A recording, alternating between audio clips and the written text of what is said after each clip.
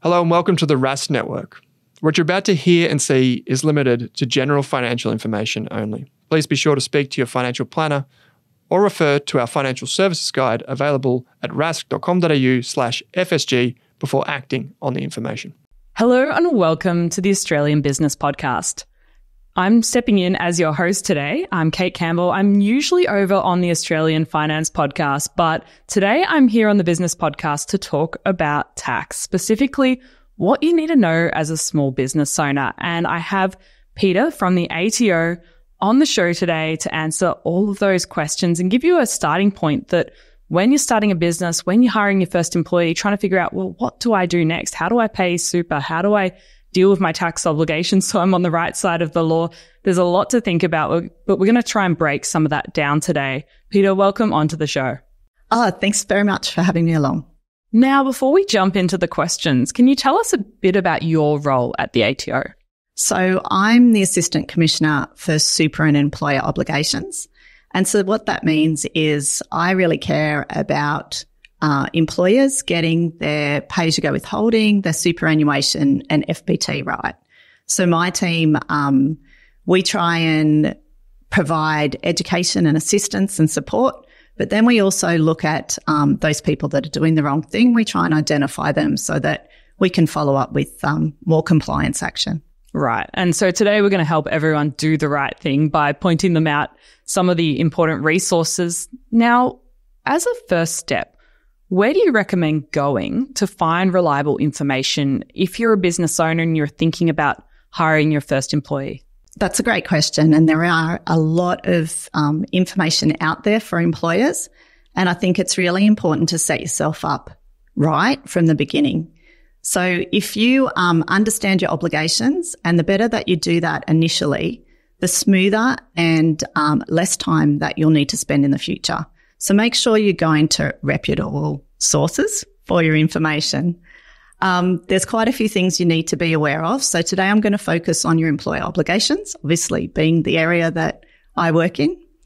Uh, the ATO has some great resources. We do have a website that is specifically for employers, and that is ato.gov.au backslash your workers.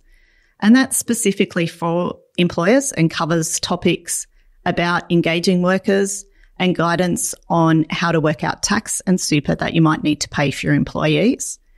I also highly re- recommend the essentials to strengthen your small business education models.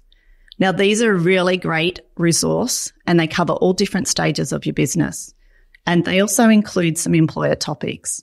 So they've got ones on hiring, paying, super and FBT.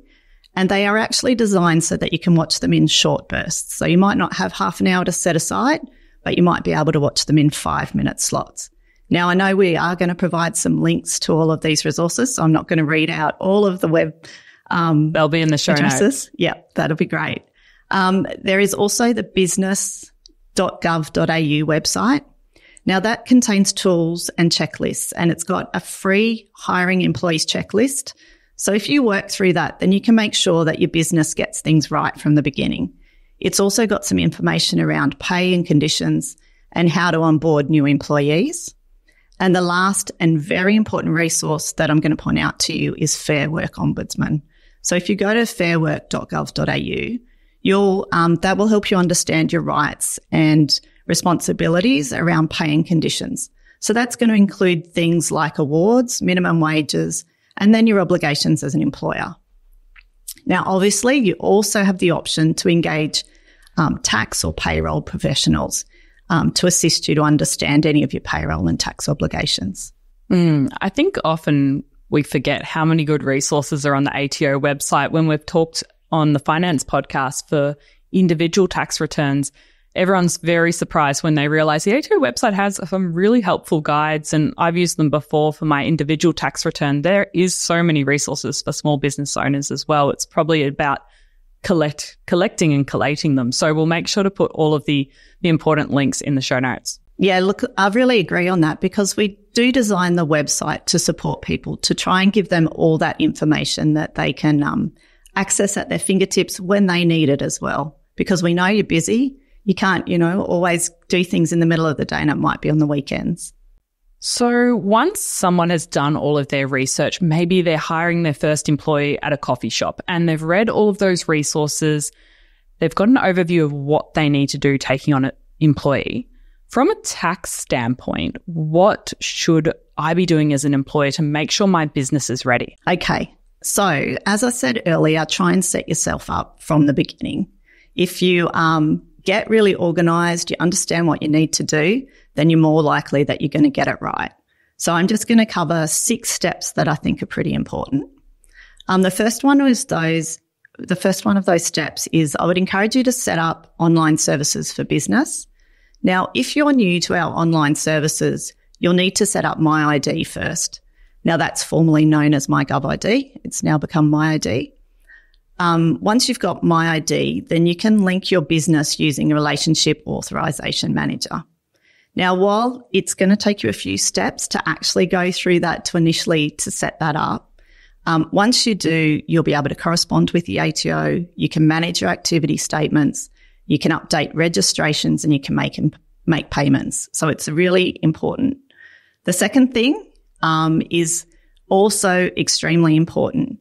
All employers must report their payroll information through single touch payroll. So I'm going to refer to it as STP. So you report that to the ATO on or before you pay your employees. So this means that you need to make sure you've got STP2 enabled software and we have a product register available on our website so you can check if your current software meets the bill. Um, if it doesn't, there are um, some low cost options available to you to have a look at. Now, once you've got STP, you're going to need to report your salary and wages, your pay as you go withholding, your super, as well as your fringe benefits tax if you end up paying, uh, providing employees with benefits. Now, single touch payroll is designed to reduce the reporting burden by employers. So what happens is once you've run your payroll, you'll send that information to the ATO straight away. So you only have to report that information once. That information is also provided to other government agencies like Services Australia um, so that helps them work out if there's any benefits that um, your employees may be entitled to. Now, obviously, if you're going to have an employee, you're going to need to register for pay as you go withholding. Um, and pay as you go withholding is the amount that you withhold from your employee's salary and wages.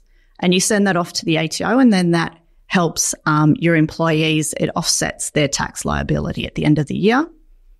Um, the fourth and fifth steps are around super, get making sure your business is ready to pay super. Uh, your fifth one is if you're going to do fringe benefits tax. And then lastly, you'll need to review whether you need to register for state and territory payroll tax. Now, you'll only need to do this um, if you're above the threshold for those different um, states and territories, uh, which if you're a small business, it's unlikely that you will be. Sounds like there's quite a few steps there because I'm just thinking about myself as an employee. All of that happens automatically. I don't have to think about paying my super or putting tax aside. It's all done automatically. But if you flip the roles and you're suddenly the employer, you have to think about all these different parts of the puzzle. Uh, exactly. And I think in the beginning, it's going to be quite tricky because it is something new to you, but eventually it will become habit and it does get easier. I'm going a little bit off script here, but do you know if people just put some time aside each month to work on this? Would they put a few hours to just sort out their tax obligations for the month?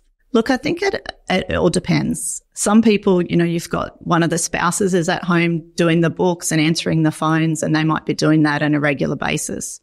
Then you've got other ones, they'll hire a bookkeeper or, uh, you know, someone to help them out with their payroll. And then you've got your people who have your receipts at the end of the month or whatever, and they're trying to reconcile everything back, which is obviously not ideal. So it is best if you set yourself up really well in the beginning. Yeah. And as you mentioned, there's a lot of tools that can make life easier and you can log expenses as you go instead of keeping the shoebox of receipts, which uh, is not what I would recommend. Okay, you mentioned a few acronyms like pay as you go withholding, what P A Y G W, and FBT for fringe, fringe benefit taxes, and setting businesses up to pay super. Are you able to elaborate a bit more on how we do this? Yep, I certainly can. Um, and remember, all this information is on our website, um, and there's going to be links attached to the podcast. So I'll start with registering for pay as you go withholding. So PAYGW, um, we call it. So you need to do that before the first payment that is subject to withholding. And that applies even if you don't have to withhold. So, you know, you might pay someone and they might be below the threshold, so you don't have to withhold tax, but you should still need to make sure you're registered. Now, um, if you haven't already registered your business, when you register um, your ABN, you can do your ABN, GST, pay as you go withholding, and your business name all at the same time on the Australian Business Register. But if you already have an ABN, you can register or cancel your um, pay you go withholding business account. And you can do that online through online services for business that I gave a call out for before. Um, or you can do it when you um, use your compatible reporting software in STP. So if you start reporting through STP, that will create a role for you. The other ways you can do it is through an agent, so a registered tax agent or a BAS agent um, you can give us a call or there are paper forms that you can fill in to do that. Um, I'm going to cover super guarantee next. Um, and there are five steps that you need to take to make sure that you set your business up to pay the right amount on time and to the right fund. So the first thing you're going to need to do is offer your employees a choice of super fund. And you need to keep your records to show that you've done that. Now, if your employees don't make a choice, you'll need to request your employees stapled super fund details from us. So you do that through the ATO stapling service. Um, and now a stapled fund is a super fund that is linked or stapled to that employee. Uh, so if they don't choose and there is no stapled fund, then you need to make sure you have a default super fund set up. So that's the default fund that you would pay any super amounts into. Make sure when you do send through super payments that you provide employees details and that includes their TFN to the super funds. Now this will prevent delays in processing the amounts or rejected payments um, and potentially an ATO audit. If we can't match people, then it might look like you haven't made those payments. So we might be in touch with you. Make sure you set up your systems to pay your super contributions electronically. Um, and this is through SuperStream.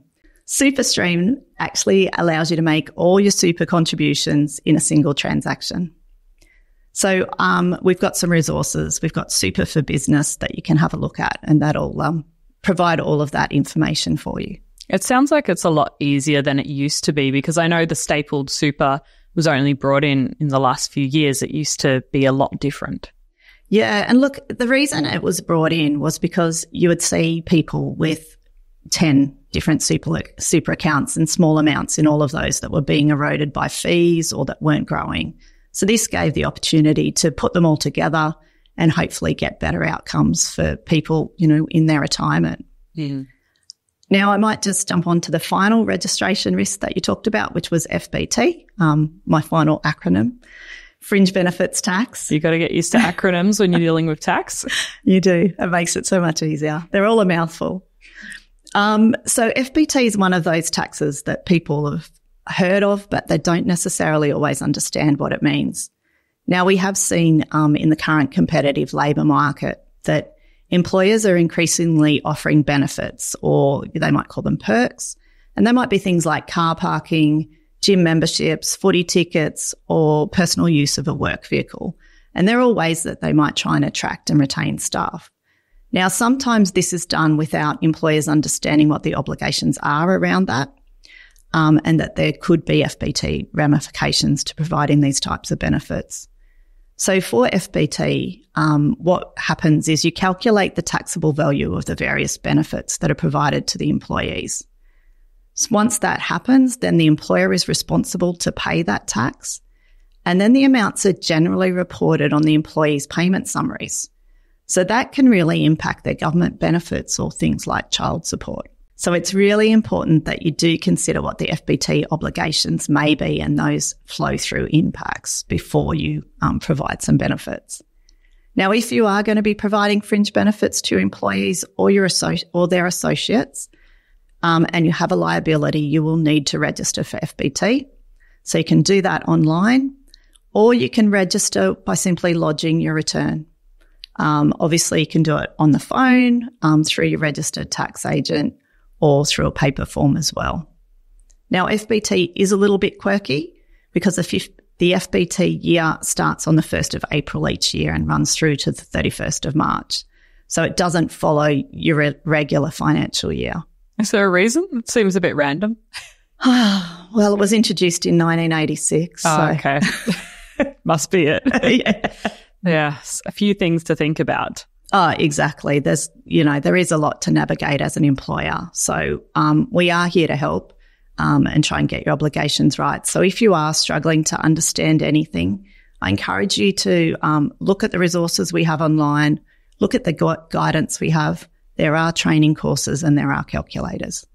So if I've managed to work through all of those different things we've discussed and I'm ready to hire, is there anything else I need to consider apart from all of those things we've talked about already? Yeah, so there are two more things that I will just call out that you probably need to think about up front. So the first one is um, consider whether the person you are hiring is going to be an employee or a contractor. So that means you really need to understand the relationship between yourself and the person that you're hiring and what your expectations are of them. Um, and this is really important because it's going to impact the tax, the super, and other obligations such as workers' compensation insurance. It impacts the workers' entitlements, as well as the different forms or contracts that you're going to need to complete when you bring them on board. Now, you need to look at the whole working relationship, and we do have some guidance on our website. It is a case by case decision, and you'll need to step through the process to work that out for yourself. Make sure if you are hiring contractors that you do have that discussion with them though, so that they understand what it means for them. Now you might think because you don't have a contractor, because you do have a contractor, you don't have to pay super. That's not necessarily always the case. So you will have to have a look and make sure whether you need to pay super or not for that contractor. We do a fair, um, large number of audits where we do raise a super liability on an employer because they were not paying super for their contractor. Something else that you might not have thought of um, is whether your new worker is legally allowed to work in Australia. So Australian citizen, permanent residents and New Zealand citizens are all legally allowed to work here without any extra vis- visas or permits. But if you think that your worker is a foreign national other than a New Zealander, um, then you have to confirm that they have a visa with permission to work. And then if you're hiring someone on a working holiday visa, which is a subclass 417 or 462, technical, I'm sure you need the technical numbers of those, but you must also register as an employer of a working holiday maker for that. Um, and they have different withholding tax rates. So you'll need to have a look at the info on our website around that. So now you're ready to hire someone and now it's time to do the paperwork. So you'll need to get tax file number and super details within 20, 28 days of them starting work. So we do have online commencement forms available for new employees and the employees need to complete those. They're on ATO online services. So once they submit those, the information is sent directly to us. Um, and they need to print out the employee tax details summary and give that to the employer. So the employer doesn't need to send that form to us. That's their copy and they use that to enter the information into their payroll um, system and then they're ready to go for payments. Alternatively, you can use the papers forms and people have probably seen those. They've been around forever. So your employees need to fill in the tax file number declaration and the super choice form. Again, you don't need to send them to us. Single touch payroll um, now provides that information to the ATO. So that's been um, a great bonus from STP. Now the TFN form helps you work out how much you need to withhold. So you're going to get um, the person's tax file number, their residency status, whether they have any government study loan debts, and whether they're claiming the tax free threshold. If an employee doesn't provide you with their TFN, you'll need to withhold the, t- the highest rate of tax plus Medicare with some limited exceptions.